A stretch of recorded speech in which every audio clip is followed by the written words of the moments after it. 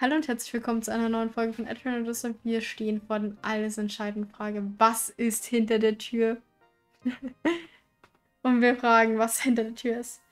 Jenseits dieser Tür? Das Oberhaupt lacht hohl und wählt seine Worte wohl mit äußerster Sorgfalt. Die Wahrheit von Yggdrasil. Werdet ihr das Geheimnis von des Labyrinths endlich lüften? Sein Tonfall wie grob, als, er, als ob er euch für eure Dreistigkeit zu fragen wollte. Wenn ihr wissen wollt, was ich weiß, dann lasst euch nicht aufhalten und geht durch die Tür. Aber wenn ihr euer Leben nicht für die Wahrheit aufs Spiel setzen wollt, dann bleibt hier. Der Mann verstummt und verschwindet langsam hinter der vor euch liegenden Tür. Tretet ein, aber seid gewarnt. Im Tausch gegen euer Leben sage ich euch das Geheimnis. Nach diesen Worten schließt sich die Tür geräuschvoll. Euer Herz klopft. Ihr überlegt hin und her, was ihr jetzt tun sollt. Ihr habt noch genügend Zeit, euch in der Stadt vorbereiten, bevor ihr den Oberhaupt folgt. Hier vor allem die Map zu komplimentieren. Ähm.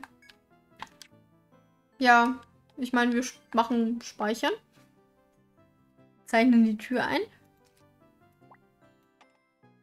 Hier die Map nochmal gut einprägen. Und jetzt gehen wir rein. Ihr holt das Stück Metall hervor, das ihr von den beiden Abenteurerinnen erhalten habt. Als ihr es in der Nähe der Tür bringt, hört ihr, wie sich ein Schloss entriegelt. Öffnen! Rein da! Vor langer, langer Zeit blühte eine Zivilisation, die unsere überlegen war. Ihre Bewohner hatten sämtliche Rätsel der Welt gelöst und besaßen eine göttergleiche Macht. Sie nannten sie Wissenschaft. Die Menschen erhoben sich über die Natur und das Leben selbst. Doch ihre Technologie warf auch finstere Schatten über ihre Zukunft. Immer mehr ihrer Analysen und Prognosen kündeten von ihrem eigenen drohenden Untergang. Indem die Menschen die Umwelt zerstörten, machten sie ihren eigenen Lebensraum zunichte. Die Gefahr wurde zu spät erkannt und der Klimawandel forderte Milliarden Todesopfer.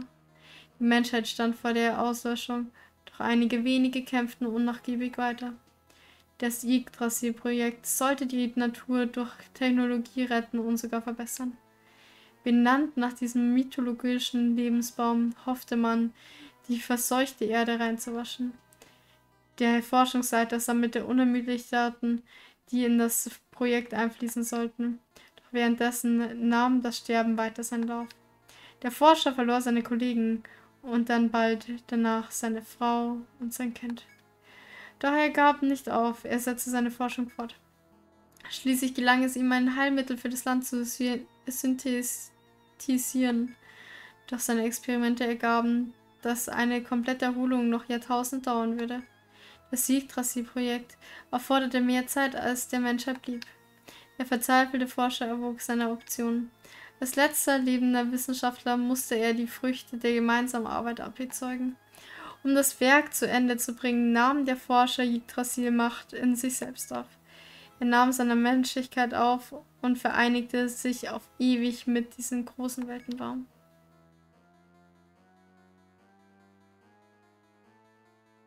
Ist das der Visil? Nee, das ist der Weltenbaum. Und in der Mitte sitzt er. Ja, ist der große Forscher.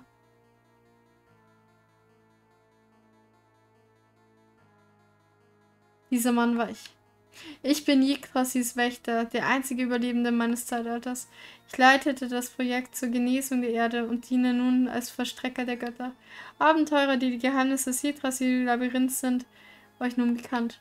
Leider sind diese Geheimnisse zu problematisch, um sie an ihre, in ihrer Obhut freizugeben. Ich hege keinen Groll gegen euch, aber Ihr dürft das Labyrinth nicht lebend verlassen. Jetzt geht's ab, ja. Sterbt nun und nährt das Land mit eurem Blut. Lebt ewig fort in Yggdrasil.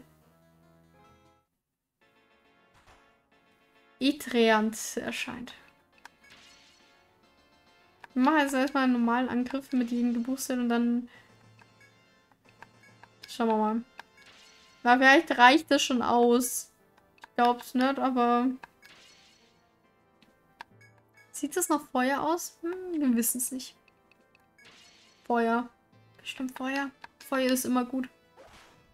Hm, 30 Schaden. 1500 Schaden. 2235. 1035. Uh, ach. Uh, der macht uns sogar 28 Schaden, Leute. Hm, machen wir mal Deckung hier gleich. Hm. Ganz ein schwerer Gegner. Es ist ein ganz, ein ganz schwerer Gegner.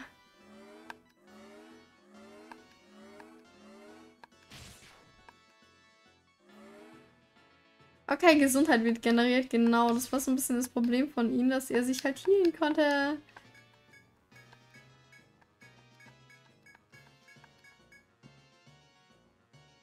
Okay, Mut. Unsere Stärke steigt.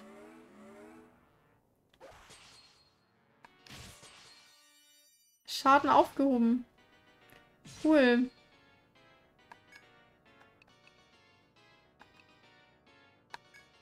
Entfernen Statusvorteile. Ich glaube, das ging nach dem Plan.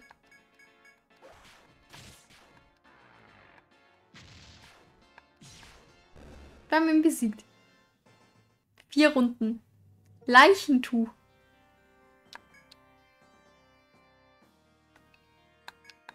Das ist ein bisschen heavy. In der Ferne zerbrach etwas. Mit diesem kurzen, aber klaren Geräusch endete ihre Welt. Der Körper von Etrias Oberhaupt rollte vom mächtigen Baum Yggdrasil herunter. Die Gefühle, die dem Baum Kraft gaben, schwanden. Dies war auch am Leib des Oberhaupts sichtbar. Nach tausend Lebenjahren lag seine kalte Hülle bewegungslos zu ihren Füßen. Yggdrasil regte sich nicht mehr.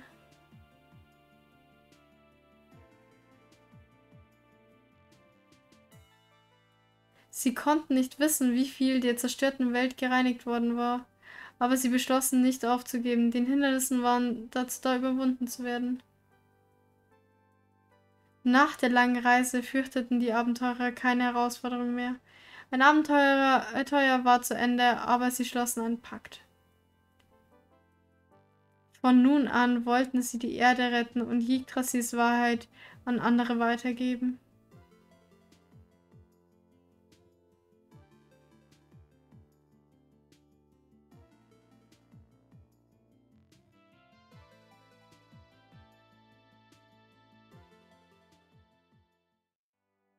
Kommen jetzt die Credits? Ja. Habt ihr schon gehört? Einige Kinder haben endlich das Geheimnis des Labyrinths gelöst. Ihr kennt sie. Ich wusste immer, dass sie es schaffen können. Bereiten wir ihnen ein großes Willkommenshause. Die Erkunder sind also munter aus dem Labyrinth zurückgekommen. Das Oberhaupt ist aber verschwunden. Er ist gestorben und ihn besiegt. Upsi, Abspann, ja. Diese Stadt war einst das ganze Leben des Mannes. Es muss einen guten Grund geben, warum er nicht zurückkommt. Ich verstehe, dann müssen wir anstelle des Oberhaupts über Etria wachen. Ey, die leben noch. Das würde ihm gefallen. Wir werden dazu beitragen und sind gespannt, was Leidas noch vorhat. Okay, jetzt kommt der Abspann. Okay, Leute, das war der erste Teil von Edwin Odyssey. Gespielt habe ich das erste Mal, habe ich das das erste Mal so circa mit acht Jahren, acht, neun Jahren, würde ich mal schätzen. Damals auf dem DS. Ähm, also ich muss sagen, das ist halt mal, GG, danke. Es ist was anderes. Also ich kenne kein Spiel, wo man sonst so eine Karte malen muss und praktisch so sich, es ist durchgezockt, ja. Ähm, ja, wo man halt die Karte zeigen muss, wo man hier so sein Team so selber gut zusammenstellen kann. Ist schon cool. Ich mag insgesamt ja immer so rundenbasierte Kämpfe. Merkt man ja auch an Dragon Quest. Insgesamt an den Spielen, wo ich spiele, merkt man das, glaube ich, schon stark, dass ich das mag. Ähm, insgesamt fand ich das Spiel schon sehr cool. Nur das mit den Spielmodus hat halt überhaupt nicht gepasst. Picknick war zu leicht, einfach zu schwer. Hm, was macht man dann? Ja, das hat das ganze Spiel halt dann so ein bisschen ähm, den Reiz auch genommen. Deswegen fand ich das jetzt nicht so gut. Ich fand es damals auf dem DS oder auf dem 3DS, wo ich es halt leider nur auf Englisch habe, ähm, finde ich es besser. Weil einfach der Spielmodus, da gibt es einfach was dazwischen, zwischen, du brauchst ja eigentlich gar nicht erst antreten zum Kämpfen und den Kampf kannst du gleich skippen. Also, das ist halt ähm, ein bisschen schwachsinnig jetzt gewesen. Aber ja, also ich bin gespannt auf die nächsten zwei Teile. Habe ich mir nämlich gleich im Pack geholt. Werden wir dann auch demnächst spielen, als wenn es einfach passt. Also es, denke ich, dauert noch ein bisschen. Jetzt haben wir das hier durchgespielt. Aber mich reizt dieses Spiel schon immer mal wieder. Das Spiel so mindestens alle, einmal im Jahr, alle zwei Jahre. Ich packe das oft aus. Ich habe es auch schon oft durchgespielt, halt in Millennium Girl. Ähm, dann spiele ich das halt wieder, dann spiele ich das halt auch ein paar Tage durch. Und dann passt es wieder für ein Jahr und dann irgendwann wird es dann wieder herausgeholt und nochmal durchgespielt. Und ich habe das bestimmt jetzt halt schon. Millennium Girl habe ich fünfmal, glaube ich, durch. Ja, insgesamt mega cooles Spiel. Ähm, Stories, Missionen. Teilweise sind die Missionen halt richtig schwachsinnig mit den fünf Tagen Überleben. Also wie gesagt, hätten auch drei gereicht.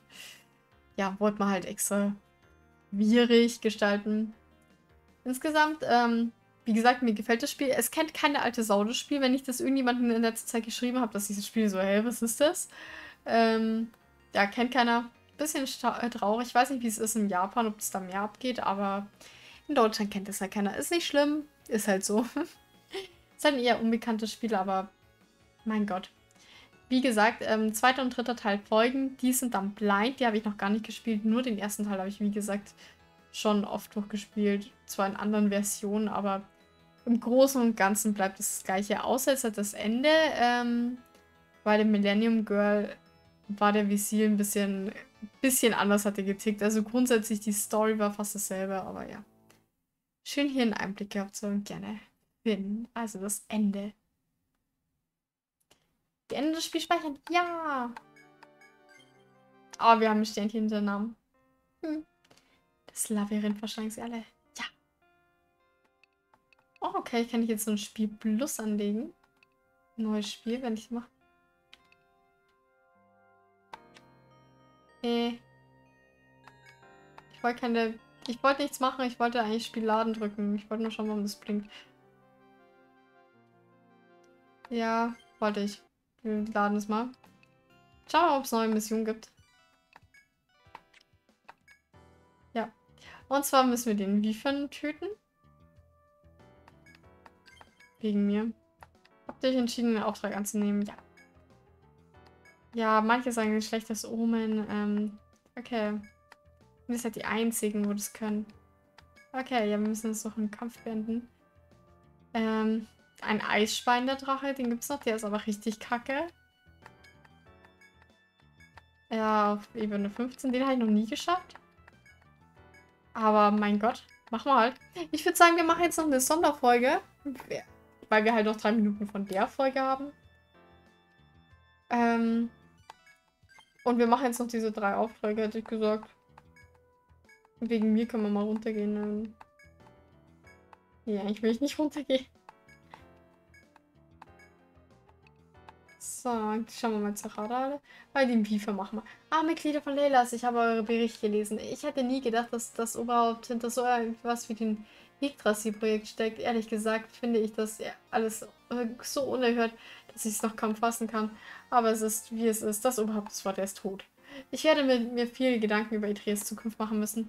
Wir haben lange auf Leute von außen gebaut, die für uns das Labyrinth erkunden. Aber was nun, da das Mysterium gelöst ist? Diesen Aspekt müssen wir bedenken, wenn wir für die Zukunft planen. Aber lasst mich nicht aufhalten. Ihr habt dieses Labyrinth noch viel zu entdecken. Es muss schließlich weitergehen. Nun dann, nehmt das als Dank, dass ihr die Wahrheit hinter das Oberhaupt aufgedeckt habt. Stadtmedaille. Das ist eine Medaille für Abenteurer, die Ebene 25 des Labyrinths erreicht haben. Sie weiß, dass die Gilde Laylas die fähigsten Abenteurer von ganz Ehe Trias beherbergt. Hier dürft ihr Arbeiten hoch erhoben auch bis fortsetzen. Toll. So, Mission? Nee. Melden wir mal hier Dinge, aber es fehlt nämlich, glaube ich, jetzt echt noch einiges. Würde ich fast sagen. Wohl. Schau mal. Ja, doch, da fehlen noch ein paar. Also ich würde schon sagen, dass da noch mal so 20 Gegner fehlen. Ja, vielleicht ein bisschen mehr. Ja, aber wie gesagt, Abspann, Abspann. Ich hätte jetzt gesagt, wir machen noch den Beefern ab, aber wir so viel Zeit auf dieser scheiß Ebene verbracht haben. Deswegen, die machen wir noch. Sonderfolge voll live. Genau. Wir machen jetzt noch den Wiefern. Und, ähm... Irgendwann hat es sich dann mit Edwin Odessa. Gut, ähm... Aber nichtsdestotrotz, ähm, Warte mal, ich muss das ganze, den ganzen Scheiß noch verkaufen. Warte mal, wir müssen mal nach oben verkaufen, ja. müssen es leicht verkaufen, um irgendwas sauteures dann kaufen zu können. ähm, ja, wie gesagt, wir machen dieser Steincut und dann sehen wir uns das nächste Mal wieder zu einer kleinen Sonderfolge von soll, das soll es dann aber gewesen sein. Bis dahin, bye.